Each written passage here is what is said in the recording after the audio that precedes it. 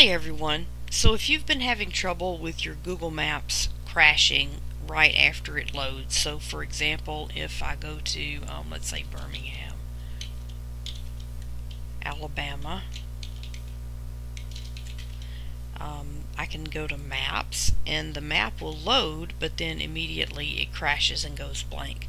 So I've been having this problem for a couple of days ever since I updated the BIOS on my mother motherboard and I'm actually running an AMD CPU and I, when I updated the BIOS on my motherboard a couple of days ago my map started doing this and I also had some other glitches like my YouTube videos have a blank screen at the bottom Facebook doesn't look right and that sort of thing. So I think I've fixed the problem with all of those but at least with maps. And so I'll show you how to do that.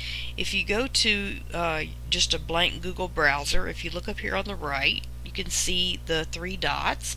Click on that and choose settings. So in your settings search for hardware acceleration so if you search for hardware, then the hardware acceleration option comes up. Deselect that, so turn it off. Turn hardware acceleration off. Okay.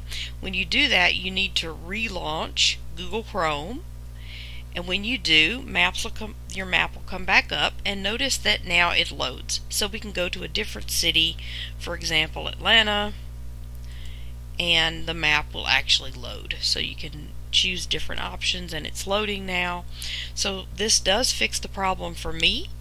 Let me know if it fixes the problem for you and hopefully it does. Now you may lose some uh, some performance by turning off hardware acceleration, I'm not sure, but unfortunately that's just a price you'll have to pay if you want your Google Maps to work. So go ahead and let me know if this for you and I appreciate your comments and have a great day.